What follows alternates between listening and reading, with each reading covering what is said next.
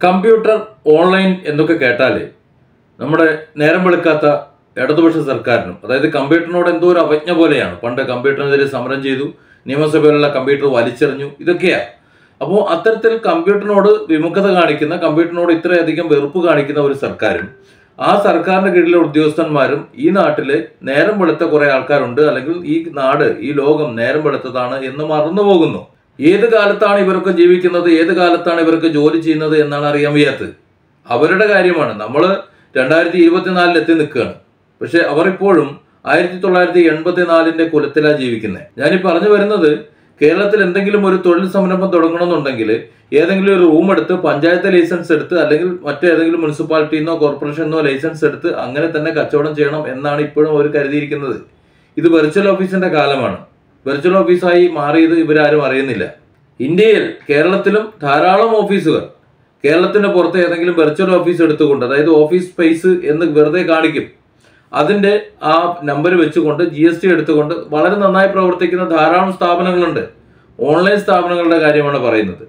കാരണം അവർക്ക് സ്പേസ് ആവശ്യമില്ല. റൂം ആവശ്യമില്ല. ഒരു ഓഫീസ് ആവശ്യമില്ല. എല്ലാം ഓൺലൈനാണ് അവരുടെ സ്റ്റാഫുകളെല്ലാം അവരുടെ വീടുകളിൽ ഇരുന്നാണ് ജോലി ചെയ്യുന്നത്. അവരുടെ പ്രോഡക്റ്റും ഓൺലൈനാണ്. അത് വെബ്സൈറ്റിലൂടെയാണ് മാർക്കറ്റ് ചെയ്യപ്പെടുന്നത്. അതുകൊണ്ട് തന്നെ ഓഫീസ് ആവശ്യമില്ല.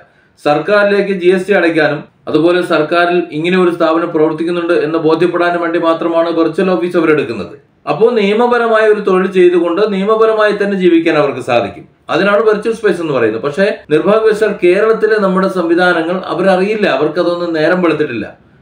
ഉദാഹരണത്തിന് ഷോപ്പ് ആൻഡ് എസ്റ്റാബ്ലിഷ്മെന്റൈസേഷൻ ആ ലിസ്റ്റുകളിൽ ഒന്നും എവിടെയും തന്നെ ഓൺലൈൻ കോഴ്സസോ ഓൺലൈൻ ക്ലാസ്സസോ നിങ്ങൾക്ക് കാണാൻ കഴിയില്ല. എന്നാൽ എല്ലാ സ്ഥലത്തും അതർ അതർ അതർ എന്ന് കൊടുത്തിട്ടുണ്ട്. ഈ അതർ എന്താണ് എന്ന് മാർക്ക് ചെയ്യാൻ കൂടി ഒരു ഓപ്ഷൻ ഇല്ല. സാധാരണഗതിയിൽ ജി എസ് ടി അടയ്ക്കാത്ത സ്ഥാപനങ്ങൾ അതായത് ഓൺലൈൻ സ്ഥാപനങ്ങൾ ഉണ്ടാക്കുന്നതിനോ അല്ലെങ്കിൽ മറ്റു സ്ഥാപനങ്ങൾ ചെയ്യുന്നതിനോ ഉദ്യം രജിസ്ട്രേഷൻ ഉദ്യം ആധാർ ചെയ്യാൻ വേണ്ടി മിനിറ്റുകൾ മാത്രം മതി. സ്വന്തമായി എല്ലാവർക്കും ചെയ്യാൻ സാധിക്കും.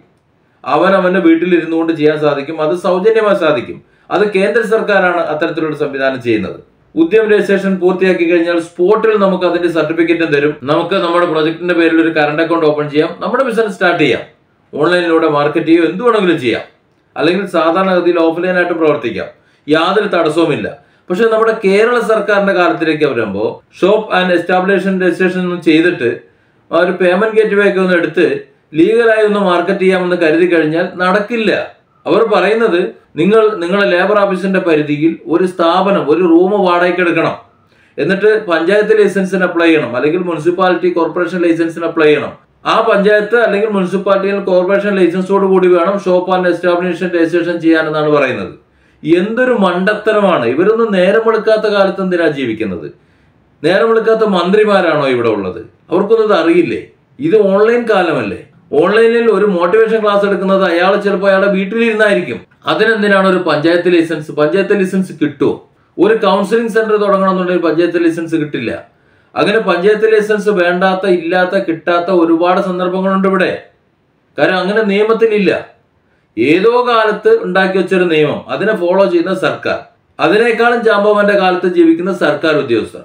ഷോപ്പാന്റെ എസ്റ്റാബ്ലിഷ്മെന്റ് രജിസ്ട്രേഷനിൽ ഉദ്യം രജിസ്ട്രേഷൻ സ്വീകരിക്കുന്നുണ്ട്. പക്ഷേ ആ ഉദ്യം അതിനകത്ത് അപ്ലൈ ചെയ്ത് കഴിഞ്ഞാൽ അവിടെ ഒന്നും ചെയ്യില്ല. ഒരാഴ്ചയോളമായി ഓൺലൈൻ രജിസ്ട്രേഷൻ ചെയ്ത് ഏകദേശം ആയിരത്തോളം രൂപ ഫീസും അടച്ച് ഒരാൾ കാത്തിരിക്കുകയാണ്. ഇപ്പോൾ അപ്രൂവൽ ആവും ഇപ്പോൾ അപ്രൂവൽ ആവും എന്ന് കരുതിയിട്ട്.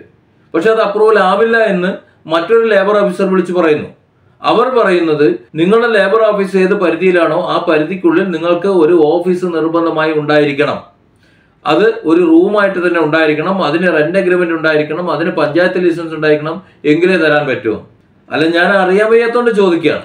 ഏതെങ്കിലും റൂമിൽ എവിടെയെങ്കിലും ഇരുന്ന് കണ്ട ആരെങ്കിലും മോട്ടിവേഷൻ ക്ലാസ് എടുക്കുന്നതിനോ വെബ്സൈറ്റിലൂടെ അവരുടെ ക്ലാസ്സുകൾ വിൽക്കുന്നതിനോ എന്തിനാണ് റൂം എടുക്കേണ്ട ആവശ്യം? നിങ്ങളൊക്കെ ഏത് കാലത്താണ് ജീവിക്കുന്നത്? ലോകം പുരോഗമിച്ചു ലോകം എവിടേക്കോ എത്തിപ്പോയി. ഇവിടെ ഇപ്പോഴും ഇങ്ങനെ കെട്ടിപ്പിടിച്ചുകൊണ്ടിരിക്കുകയാണ്.